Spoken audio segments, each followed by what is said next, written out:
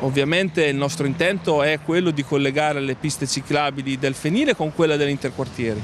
Ovviamente è in corso una sperimentazione, una sperimentazione che durerà fino a dicembre, quindi ci sarà tempo per apportare tutte le migliorie che saranno necessarie.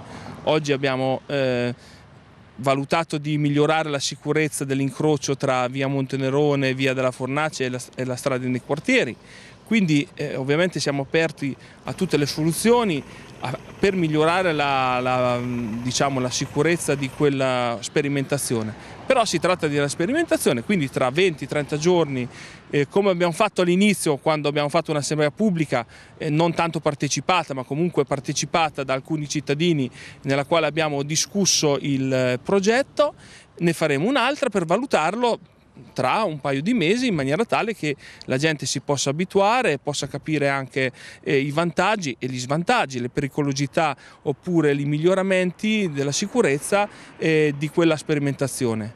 Eh, in ogni caso non potevamo non completare quella che è stata la pista ciclabile del Fenile e lasciare in mezzo alla strada eh, diciamo, tutti quelli che vengono eh, dal Fenile. Quindi questo è l'animo che ha, eh, dire, ci ha fatto eh, preparare questa sperimentazione. Ovviamente non ci sono cordoli, ci sono i New Jersey perché si possono rimuovere altrimenti non sarebbe stata una, una sperimentazione. Abbiamo fatto le righe in terra perché ovviamente devono starci e quelle si possono cancellare.